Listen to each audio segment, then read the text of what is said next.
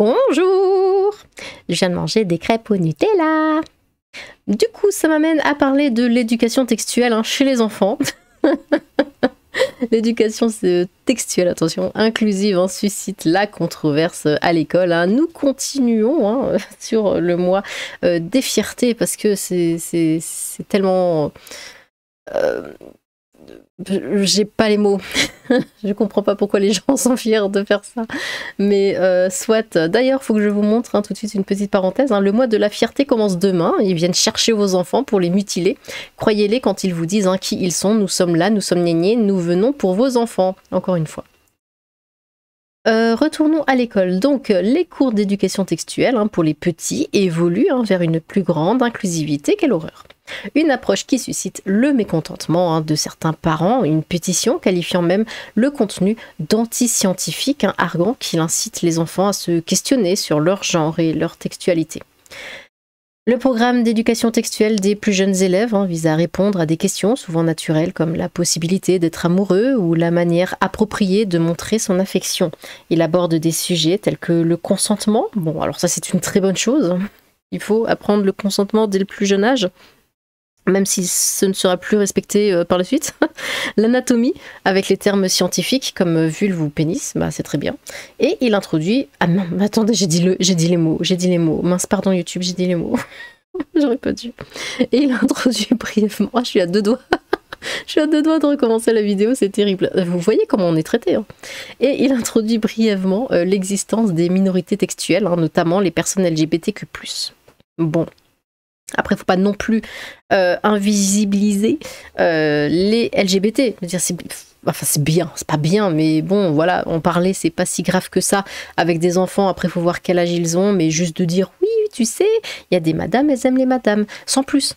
Et des messieurs qui aiment les messieurs, sans plus. Hein, on part pas sur euh, oui, il y a le machin qui se prend pour un clou, qui est amoureux de bidule, qui se prend pour un loup. Non, non, non, pas ça. Ce programme a évolué en s'efforçant d'être inclusif, hein, explique euh, Estelle Marie euh, Ferrer, éducatrice en santé textuelle Profa, un hein, dimanche dans le, 19, dans le 19h38 de la RTS. Car selon elle, toutes les personnes qui ont une question autour du genre ou de l'orientation textuelle indifférente de ce qu'on appelle la norme doivent pouvoir aller à l'école en sécurité. Euh, je relis. Toutes les personnes qui ont une question autour du genre ou de l'orientation textuelle différente de ce qu'on appelle la norme doivent aller à l'école. Orientation textuelle différente de la norme, école. Orientation textuelle différente, école. Ça ne va pas du tout ensemble. Nous sommes d'accord. Un sujet de controverse hein, pour certains parents, bah tu m'étonnes. À l'école, tu n'as pas à parler d'orientation textuelle différente, euh, si ce n'est dans les grandes lignes, mais pas plus. Un sujet du coup de controverse. Euh, suite à son premier cours hein, d'éducation textuelle euh, l'année dernière, hein, Linaïa, âgée de 7 ans, est rentrée à la maison avec des interrogations qui ont choqué sa mère, hein, Megan Moulumba. Ce n'est pas parce que vous êtes une fille ou un garçon que vous devez vous identifier à ce genre-là. Ah bon? Ok, première nouvelle, excusez-nous. La possibilité de changer euh, de texte existe. Non. Aurait partagé Linaya avec sa maman. Bah non. Il faut que la maman explique euh, à la petite fille que tu vas juste te faire mutiler, mais à l'intérieur, tu seras toujours la même. À l'avenir, cette maman sollicitera une dispense hein, pour ses quatre filles hein, concernant l'éducation textuelle. Elle souligne qu'elle n'est pas dérangée par le fait que sa fille se pose des questions, car cela fait partie de son développement naturel. Cependant, elle et son conjoint ont été perturbés par le fait qu'on encourage, hein, encourage, c'est ça le, terme, c'est ça qui dérange, encourage leur fille à s'interroger sur des sujets de genre. Elle était vraiment en train de tout remettre en question, ajoute-t-elle. Ah ouais, mais de, toute façon, écoutez, les enfants, c'est tellement malléable. Ils peuvent en faire ce qu'ils veulent. Ils prennent une petite fille et lui disent Ah, tu, te sens garçon, hein Là, t'es une fille, mais, en vrai, tu as, bien envie de jouer avec des voitures. Et puis, euh, bon, je suis une boumeuse. Tu, tu joues plus avec Ken qu'avec Barbie. Enfin, pas avec Ken, comment ça s'appelle Avec Action Man avec Action Man qu'avec Barbie, hein, n'est-ce pas? Ah, T'aimes bien, c'est mieux avec les, les, les, pistolets et puis les garages aussi. T'aimes bien les circuits comme ça, les voitures sur le tapis circuit. Ah, je suis vraiment une boumeuse.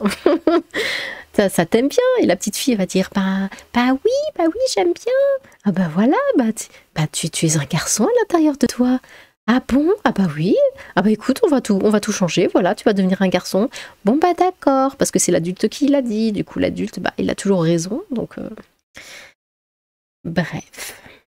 Euh, un collectif euh, sonne l'alarme et appelle à la réforme. Megan est l'une des 23 000 signataires hein, de la pétition du collectif euh, Parents Suisses, un texte déposé au Grand Conseil genevois hein, qui dénonce un contenu idéologique, hein, qui bah, surtout que c'est pas nouveau, j'ai fait je ne sais combien de vidéos sur le sujet, qui selon eux sème le doute sur l'identité textuelle des enfants.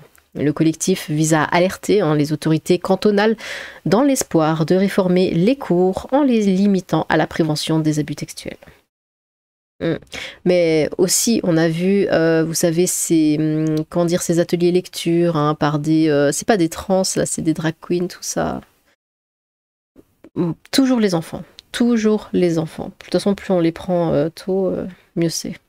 Euh, selon sa présidente, euh, Vanessa van der Lillige, au cours euh, de l'année et demie passée, hein, ces discussions sur l'identité de genre hein, et les changements de texte ont été menés dans tous les cantons. Ce n'est juste pas possible, hein, estime-t-elle. le collectif qualifie cette éducation d'anti-scientifique. Bah oui, totalement, c'est un ressenti. Il n'y a rien de scientifique là-dedans. C'est pas. il regarde pas, comment dire, l'anatomie. C'est uniquement du ressenti. Et pour beaucoup, c'est même pas un vrai ressenti, c'est plutôt suivre une mode. Hein. Je reste là-dessus. Hein. Euh, chaque corps est unique, je le respecte. J'ai le droit de parler des secrets qui me gênent. À l'école, tu peux parler de ces sujets à des adultes de confiance. Alors quand on sait ce qui se passe en plus à l'école entre adultes et enfants, euh, un programme scientifique validé hein, par la Confédération.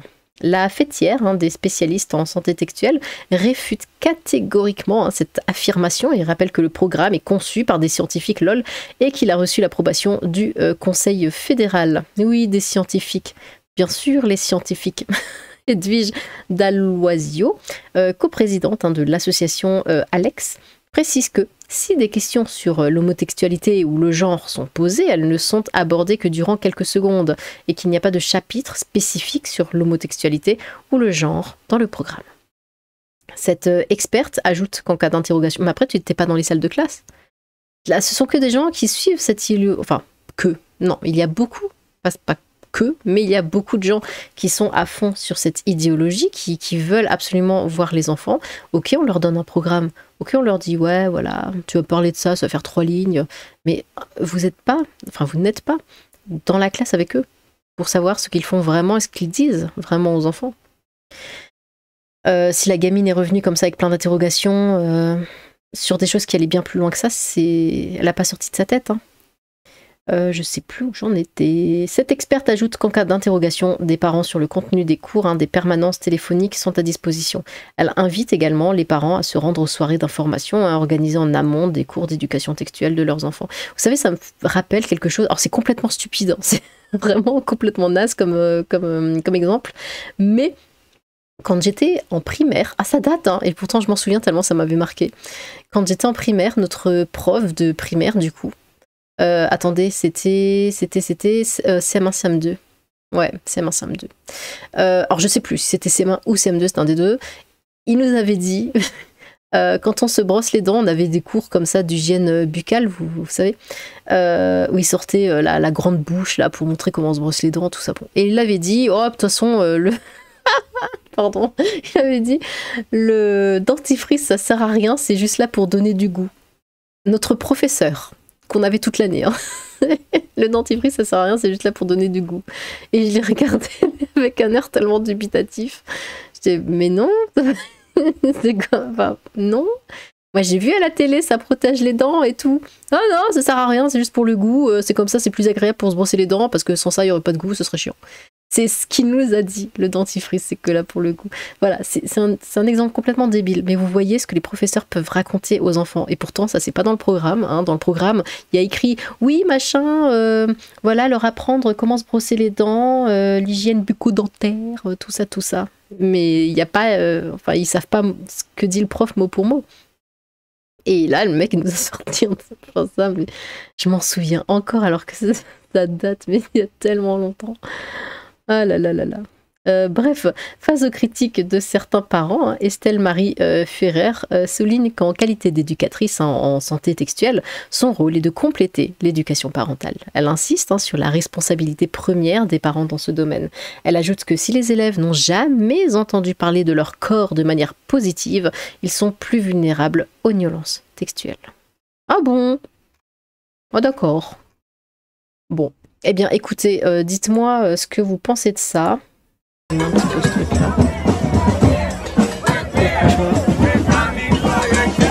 Oui, oui, we're coming for your children. Mhm. C'est cool. Avec des parents d'élèves, nous sommes intervenus pour faire partir les trans. La directrice avait pas prévenu les parents des élèves, ça s'est fait dans le calme et tout le monde est parti. Eh ben, il faudra pas pleurer. Euh, welcome to Zombieland. J'ai choisi l'ours dans la forêt. Au moins, c'est pas un fou. Ah oui, alors il y avait ce truc-là. J'en ai pas fait une vidéo, mais euh, ça disait comme quoi les femmes préféreraient euh, croiser un ours plutôt qu'un homme dans une forêt.